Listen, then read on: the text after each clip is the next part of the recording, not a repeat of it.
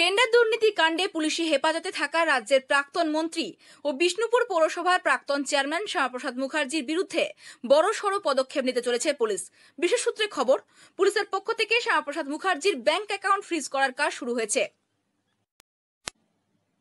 প্রসঙ্গত, গত রবিবারই টেন্ডার দুর্নীতি কাণ্ডে রাজ্যের প্রাক্তন মন্ত্রী ও বিষ্ণুপুর পৌরসভার প্রাক্তন চেয়ারম্যান শ্যামাপ্রসাদ মুখার্জিকে গ্রেপ্তার করে পুলিশ। তারপর থেকেই আদালতের নির্দেশে পুলিশি হেফাজতে রয়েছেন তিনি।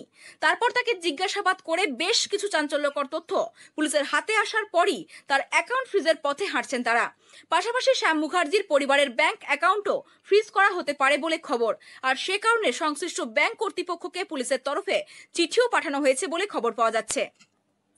নিজেদের হেফাজতে থাকাকালীন শ্যামাপ্রসাদ মুখার্জিকে দফায় দফায় জেরা করে টেন্ডার দুর্নীতি সংক্রান্ত রিপোর্ট একই সঙ্গে আর্থিক লেনদেনের বিষয় ও দু হাজার এগারো ও ষোলো সালের বিধানসভা নির্বাচনে প্রার্থী হিসেবে জমা করা হলফনামায় শ্যামাপ্রসাদ মুখার্জির হলফনামা রিপোর্টও পুলিশের তদন্তকারী আধিকারিকরা খতিয়ে দেখবেন বলে জানা গেছে।